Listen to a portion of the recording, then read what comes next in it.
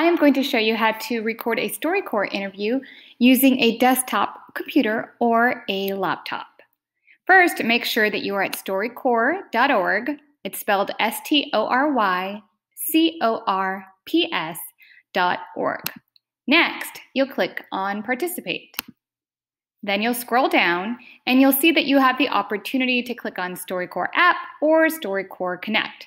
With the StoryCorps app, you can use it on a mobile device or an iPad.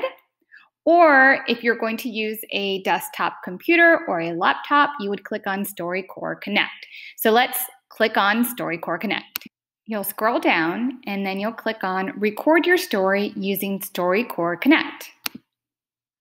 Now, you will either log into StoryCorps to continue, or if you need to create an account, you'll click on Get Started and create an account. Let's click on Get Started. You will provide your first and last name, use your student email address for email, create a password, put your birth date. And remember, you can only participate if you're 13 years old and your legal guardian has read and agreed to the terms of use on your behalf. So when you're done, click Create Account. If you already have an account, you'll click Sign In. You'll type in your username, a password, and remember me if you are using your personal device. So let's click on Login. Now you can share this link right here with the person who you'd like to interview, and you'll receive this message. It says invite link copy to clipboard. You'll click on OK, and then you can paste it in an email or maybe a Hangouts chat, or you can type in your interview partner's email address, which I've typed already, and click on invite via email. Now you wait for your partner to open the link during the interview time that you two have set up. Your interview will look like a Zoom or a Google Meet. However, it's only going to record the audio. It will not record the video.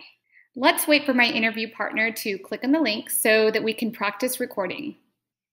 Hi, Sam. Thank you for joining me for this interview. Hi, it's good to see you, Andrea. Okay, so I'm going to press record in a bit, and each one of us are going to introduce our name and our age, and then I'm going to say which city we are recording this from. Okay, so I'm going to press record. Here we go. Hi, my name is Andrea Cabanas, and I am 39 years old, and I'm interviewing Samantha Borcherding, and she's my colleague. I'm Samantha Borcherding. I'm 34, and I'm looking forward to this conversation. All right, we're recording here in San Antonio, Texas. Here's my first interview question.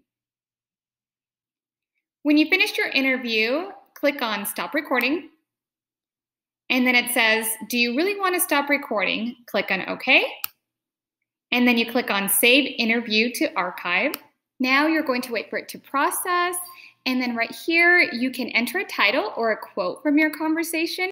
I'm going to title it Samantha Borcherding and Andrea Cabanas. Then I'm going to add a summary or description of my interview.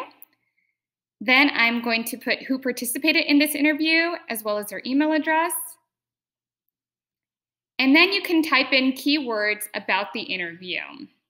You can also enter languages, people, places, and then a company or organization, as well as the recording location.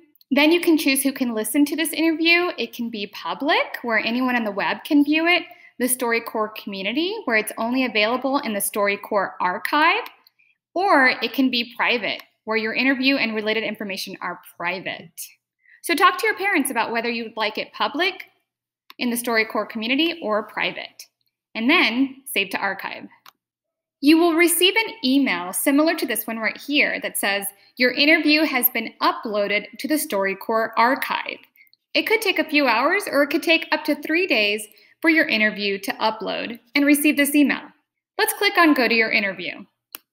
You might need to log in in order to access this page. However, since I'm already logged in, you can see my audio right here, and then you can see screenshots that were recorded from the interview.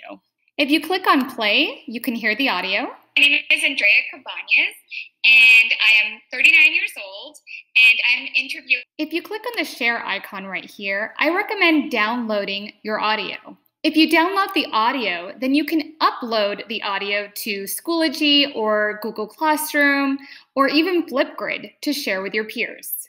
You can also click on the link to the story and then you can copy and paste that in an email or Schoology or other type of learning management system. You can even post it in Flipgrid as well. The only problem when you share the link is that the recipient has to log in to StoryCorps or create an account if they do not have a StoryCorps account in order to hear the audio. You can also share your interview on social media with your friends and family, and you can even embed the interview on a Google site or any other type of website. Another way to access your audio recording is to click on your user profile, click on My Interviews and Profile, and you will see that I have three interviews right here. If you click on the interview with you and your interview partner, you can view it anytime. I hope that you have a lot of fun interviewing someone who is important to you, and I cannot wait to hear your stories in StoryCorps.